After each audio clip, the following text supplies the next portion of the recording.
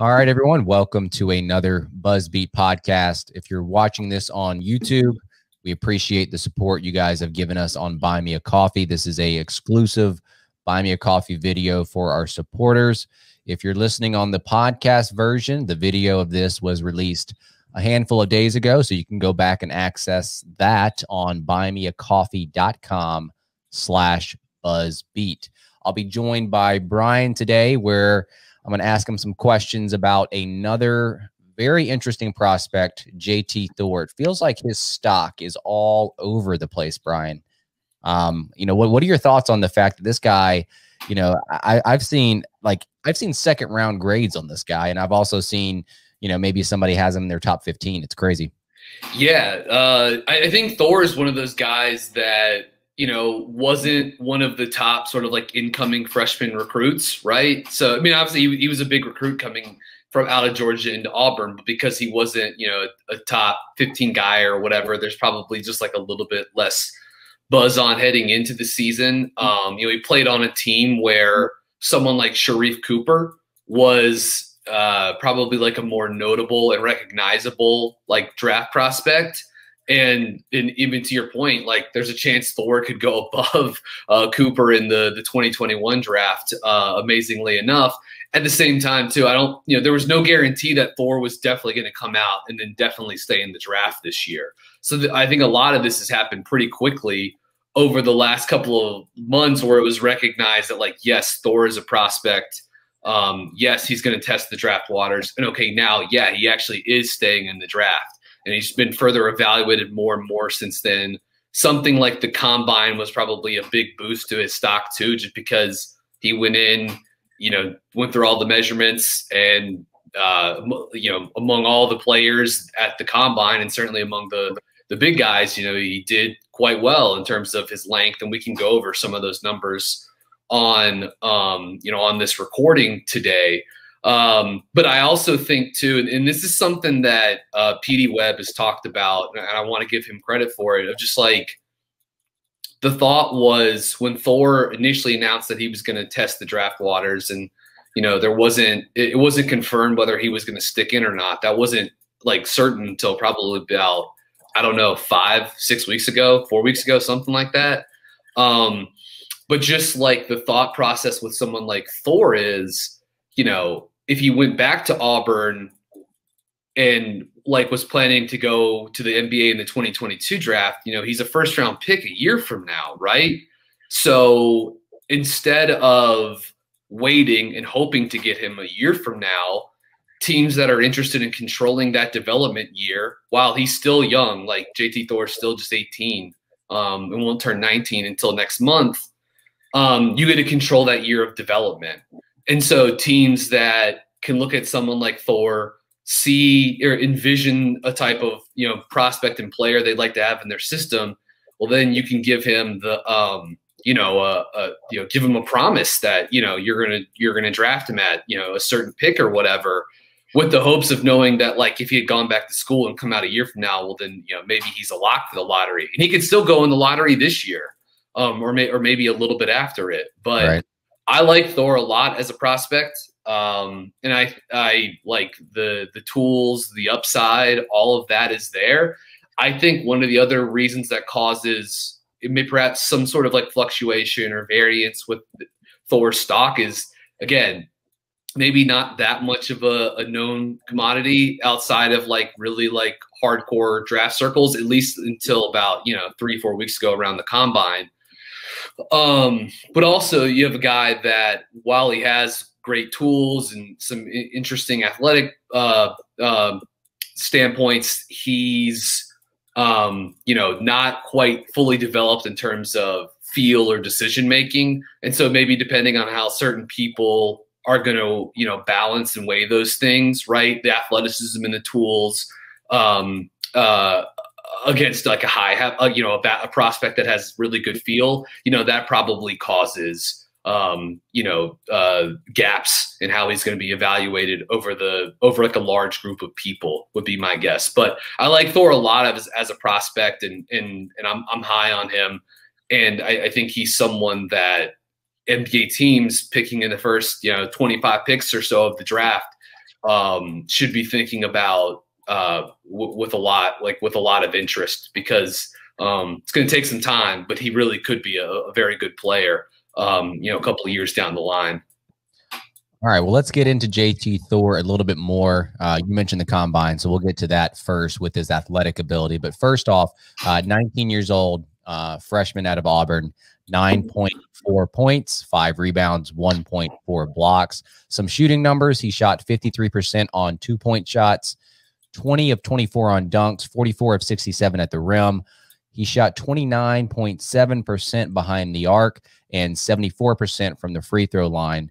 Uh, in terms of his athletic ability and the way that he moves, Brian, you know, what can you tell me about maybe his like his measurables, his wingspan? Yeah. Just tell me about him as an athlete and, and how that's going to translate to the next level. Yeah, just looking at the combine measurements uh, with shoes, uh, height of you know six nine uh, point two five, wingspan of seven three and a quarter, which was the second uh, longest wingspan at the combine.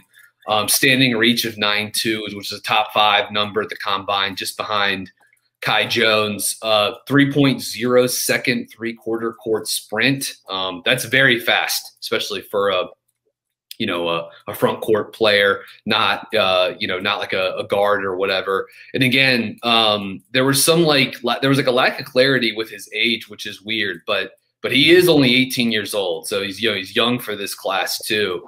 Um, in terms more of this, just sort of like athleticism, you know, we just mentioned the length, which is really, really good, but big time, you know, uh, leaper, run, jump, athlete, had some of the most sort of like audacious dunk attempts in college hoops this season. Um, you know, with his vertical and reach, it's it's almost hilarious to see just like how high and how far he could extend with the ball midair. Uh, very mobile, covers a lot of ground in space, which that's those have sort of become like the new buzz terms, uh, especially with like big man defenders. I feel like, or or, or like big wing defenders, ground coverage, um, flexible, coordinated laterally, can move in space. Um, so yeah, really, really good athlete. Like he's raw. Like I said, he needs development, but the tools, the athletic traits, uh, they're all there, and they're all really, really good. Yeah, offensively, he's a he's a very interesting prospect. He's got some versatility in how you can play him. And I'm a little bit more optimistic on his shot than maybe the numbers suggest at 29.7%. I, I feel like that number should go up. Tell me a little bit about him, you know, with his offensive game and and how he should be used on the next level.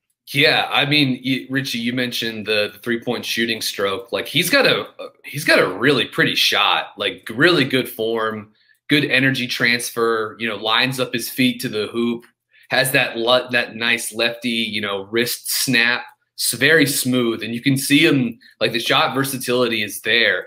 Um, you know, you mentioned he shot just a just a tick under thirty percent from deep, but on an impressive variety of looks, like movement three point shots, coming off pin downs, uh, pick and pops moving into space, being able to like reset and reload and get um, shots off, good trail three point shooter. So he's got again a little bit more of the, the those like movement um, shooting capabilities. Uh, Auburn ran actions and after timeout stuff to get him looks coming off pin downs.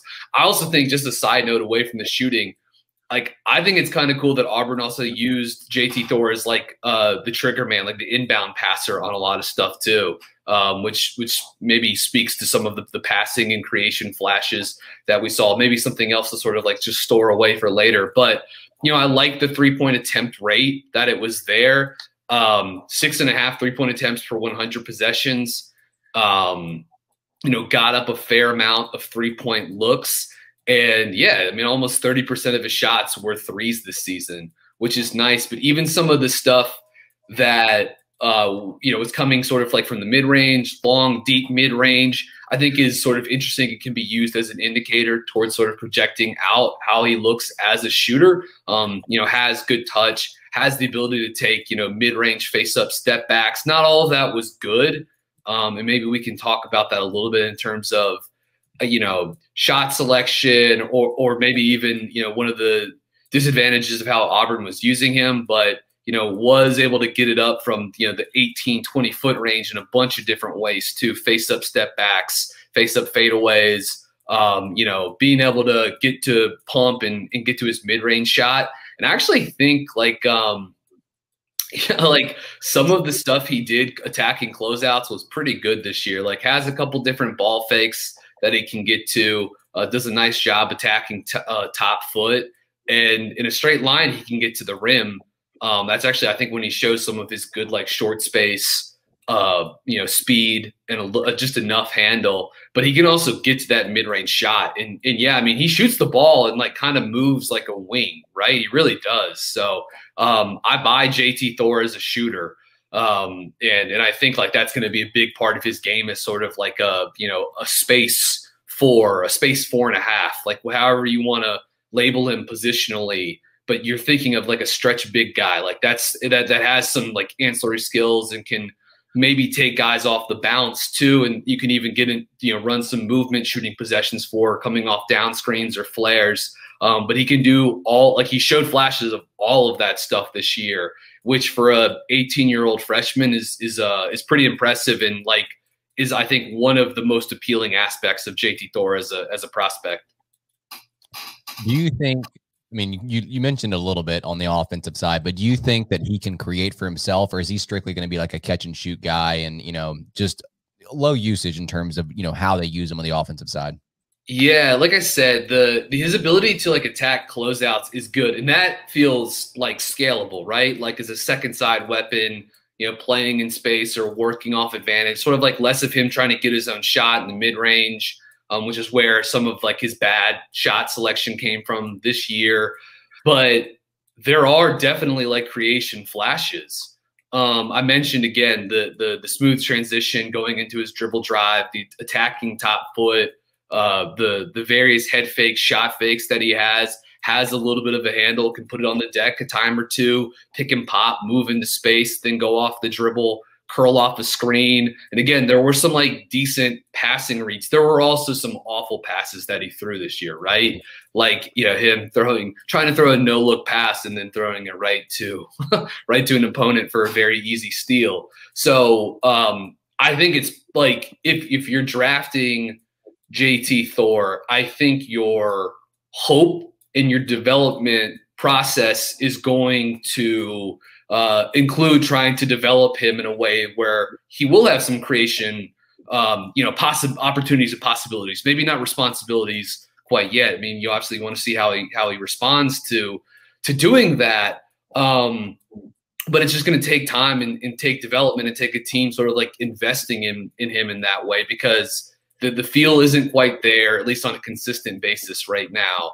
Um, but it is absolutely like something that could uh, could be a part of the package, especially if the three point shot in fact translates, and then that's something that he can, um, you know, eventually play off of.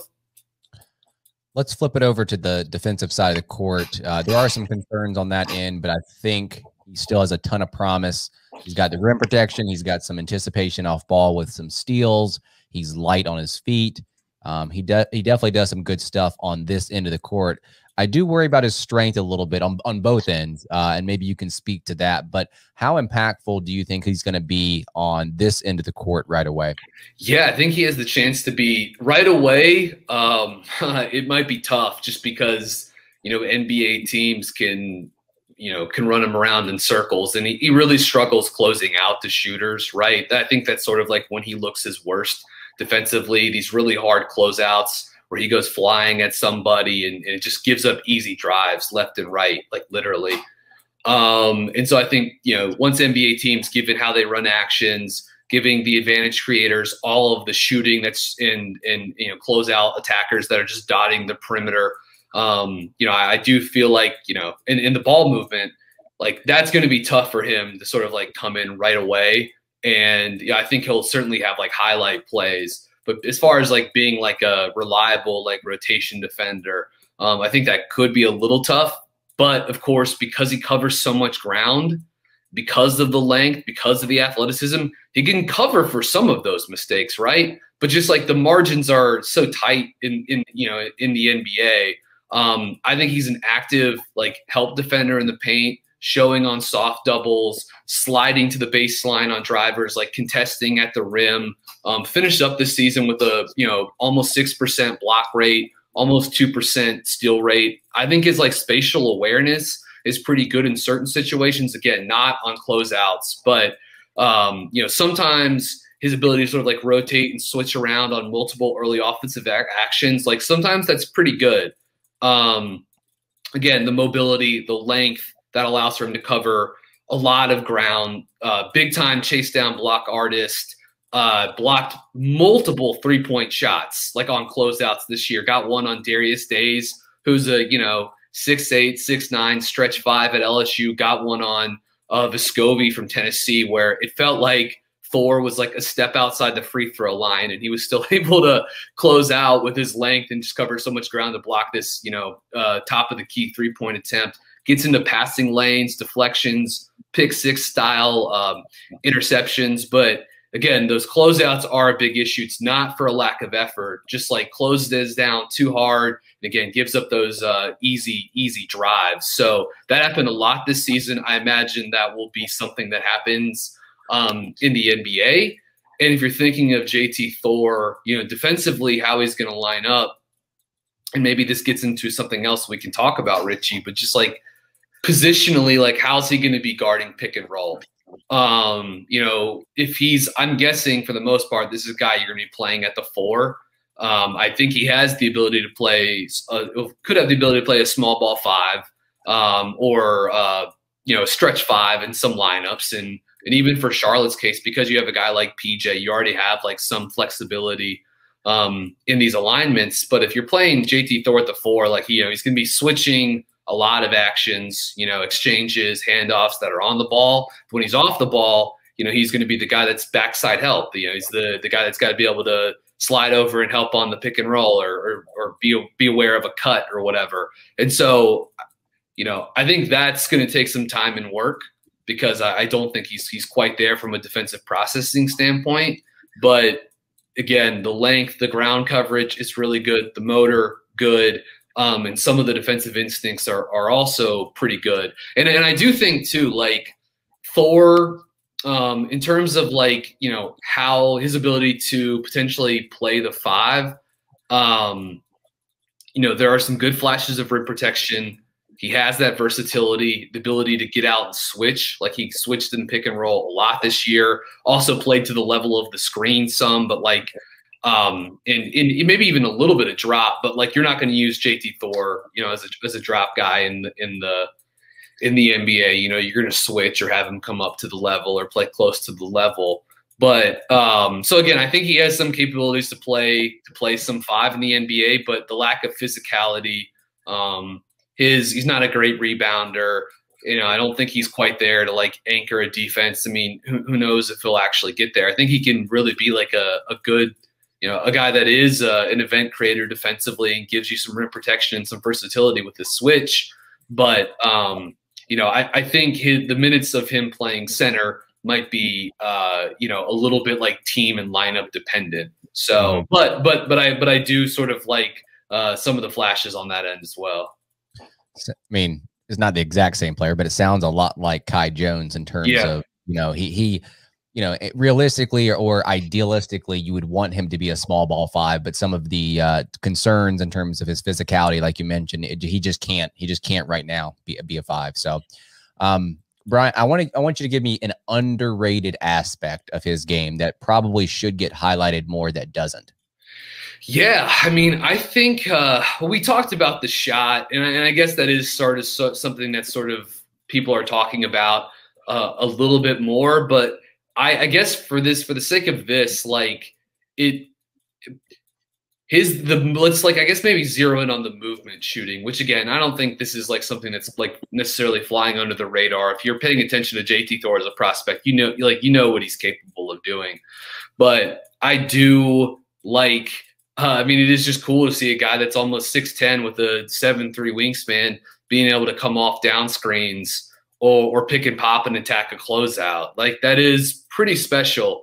Um, again, though, that is certainly like a part of the package. And if you're drafting him, you know, it's because you're hoping to like build something um, you know, off of that. The pick and roll, like him being used as a screener, is interesting. Um, you know, has the ability to screen, roll, post up against the switch, like if he was working with Sharife Cooper.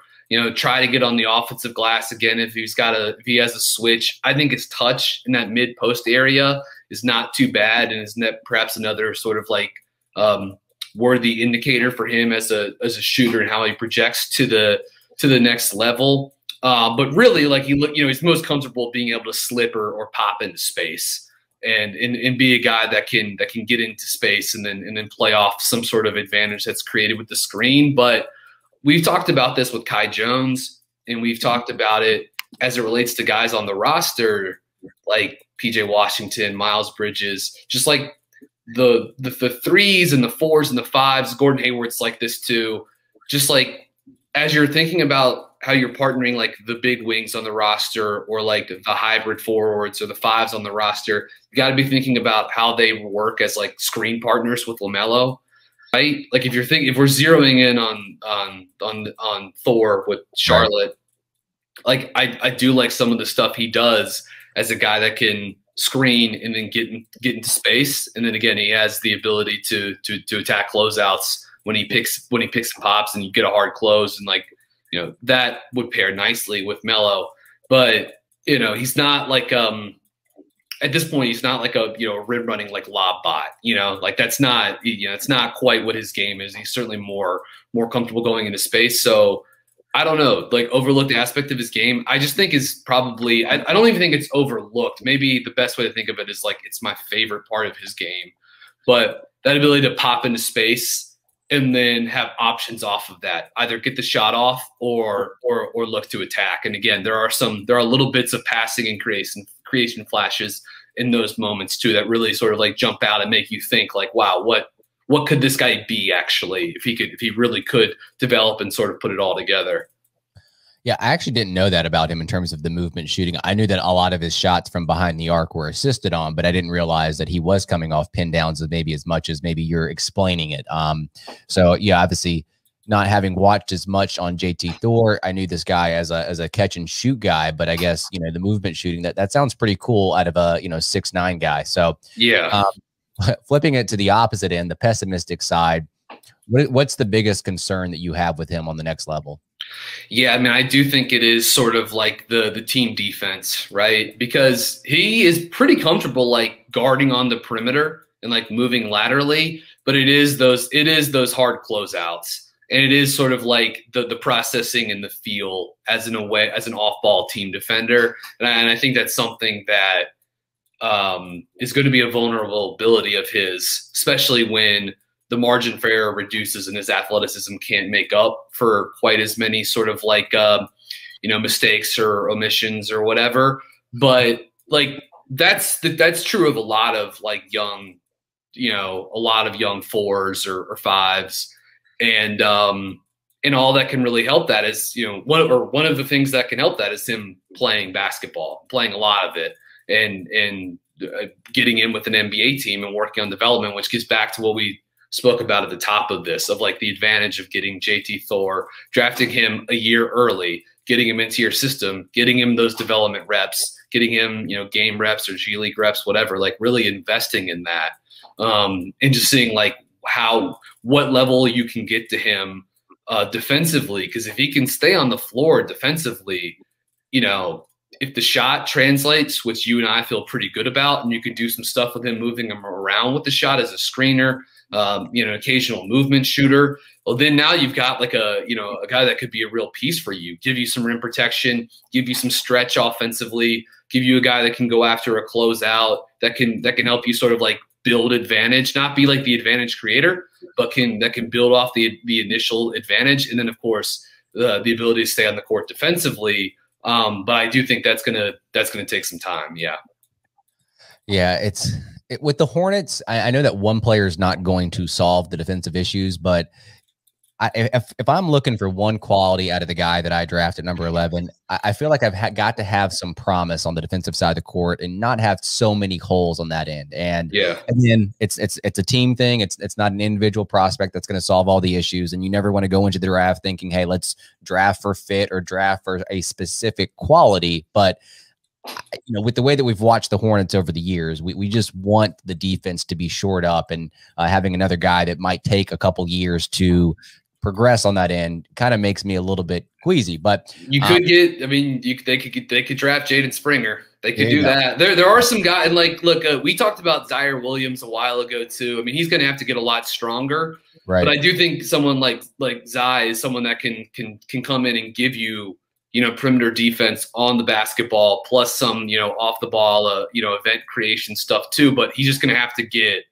uh, you know, a lot stronger and, and not, you know, sort of get clipped on as many ball screens as he does right now. But Springer is someone that I think could come in and, and, and, and I really do think he could come in and help the defense uh, next season, even though he's one of the youngest guys, um, you know, in the draft. So it's like there, there are some of these guys, they've got to beef up the perimeter defense. Right. And obviously like, you know, adding someone at, at center is, is, is big and hopefully, you know, free agency is some place where they can they can really check that box because you know it's it's good unless it's unless it is someone like you know Isaiah Jackson or whatever. You know, it's going to be tough to get a, a you know a five in the door that I think is going to like even give you anywhere close to like you know winning defensive value. You know, not even like not even saying like Jackson would be a plus defender next season or whatever, but like I think he could be okay and then eventually down the line be like a you know a, a good defensive big guy for you. But um that's why if they really want to, uh, you know,